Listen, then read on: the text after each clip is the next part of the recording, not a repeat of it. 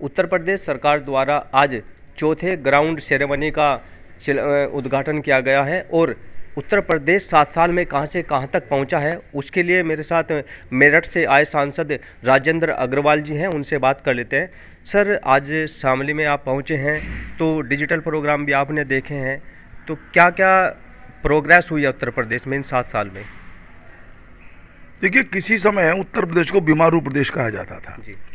2017 में माननीय योगी जी उत्तर प्रदेश के मुख्यमंत्री बने। 2014 में उससे पहले माननीय नरेंद्र मोदी जी प्रधानमंत्री पद पर देश की जनता ने उनका अभिषेक कर दिया था। तो डबल इंजन की सरकार आई माननीय प्रधानमंत्री जी की जो सोच थी संपूर्ण विकास की देश के, उसमें उत्तर प्रदेश ने भी कदम से कदम किया। और कुल मिलाकर के नीतियाँ बहुत सारी हैं, कार्यक्रम बहुत सारे हैं। कुल मिला कर के उत्तर प्रदेश की जो सबसे बड़ी समस्या कानून व्यवस्था की थी, उसको ठीक किया योगी जी ने। यहाँ पर जो सड़कें दुरुस्त हुई, यहाँ पर बिजली की व्यवस्था दुरुस्त हुई, नहीं तो पहले पाँच जिलों में बिजली आया करती थी। इसके कारण से एक अनुकूल वातावरण इन्वेस्टमेंट के दृष्टि से बना, नहीं तो पहले लोगों को भरोसा ही नहीं था। लोग जो है यहाँ से छोड़ करके जाने की इच्छुक रहते थे, और बाहर से तो कोई आता ही नहीं था। और मुझे ध्यान है अखिलेश जी जब मुख्यमंत्री थे तो उन्होंने एक बार इन्वेस्टर मीट करने की कोशिश की, सफल नहीं हुई, उन्होंने दिल्ली में की, दिल्ली में भी लोग नहीं आए, क्योंकि लोगों को भरोसा नहीं था, ना यहाँ का वैसा वातावरण था।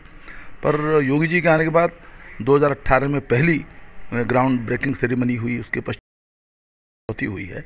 और निरंतर जो निवेश है, उत्तर प्रदेश में बढ़ रहा है, इस बार दस लाख करोड़ का निवेश के प्रस्ताव हैं, जो मैच्योर आज हो रहे हैं। तो पूरे प्रदेश का चित्र बदला है, भरोसा, अखंड भरोसा मोदी जी की, योगी जी की सरकार में है।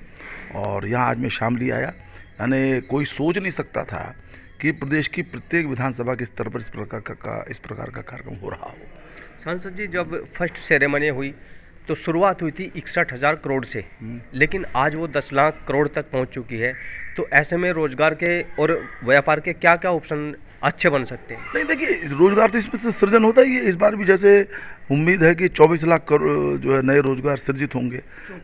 चौंतीस लाख। हाँ तो ये बड़ी संख्या है और हर बार इसका बढ़ते तो हम मोदी जी कहते हैं योगी जी भी कहते हैं कि रोज़गार देने वाले बनिए आप रोज़गार मांगिए मत।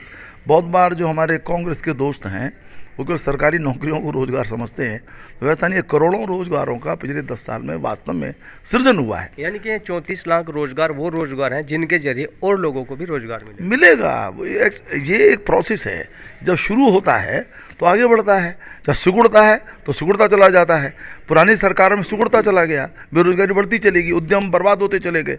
अब ये जो सरकार है, डबल इंजन की सरकार है, इसमें वो निरंतर वृद्धि की ओर है। जैसा आपने कहा कि पैंसठ हज़ार करोड़ से दस लाख करोड़ तक हम आ गए, चौथी ब्रेक ग्राउंड ब्रेकिंग सेरेमनी के अंदर। ये निरंतर बढ़ेगा।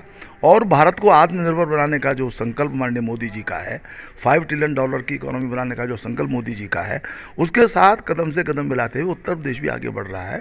वन ट्रिलियन डॉलर की इकोनॉमी हम अपनी बनाएँगे और चाहे वो टूरिज़्म हो, चाहे वो उद्यम हो, चाहे वो व्यापार हो, प्रत्येक क्षेत्र के अंदर उत्तर प्रदेश आगे बढ़ रहा है उसी का परिचय आज के कार्यक्रम के अंदर सबको मिला है। धन्यवाद सर हमसे बात करने के लिए। देखिए, मेरे साथ मेरठ से आज सांसद महोदय जी थे, जिन्होंने साफ़ तौर पे ये बताया है कि 10 लाख करोड़ का जो है इस फोर्थ सेरेमनी में निर्णय लिया गया है और 34 लाख नए रोज़गार जो है उत्तर प्रदेश सरकार देने जा रहे हैं। तो कहीं ना कहीं सात साल में देश के प्रधानमंत्री ने भी कहा है कि सात साल में उत्तर प्रदेश में काफ़ी बदलाव हुए हैं। तो देश के प्रधानमंत्री ने भी आज फोर्थ सेरेमनी को संबोधित किया है और शामली में आए सांसद के द्वारा यहाँ के व्यापारियों ने भी बढ़ चढ़ करके हिस्सा लिया है। शामली से अपने सहयोगी दीपक के साथ अमित शर्मा न्यूज़ 24 नमस्कार, मैं हूँ मानक गुप्ता।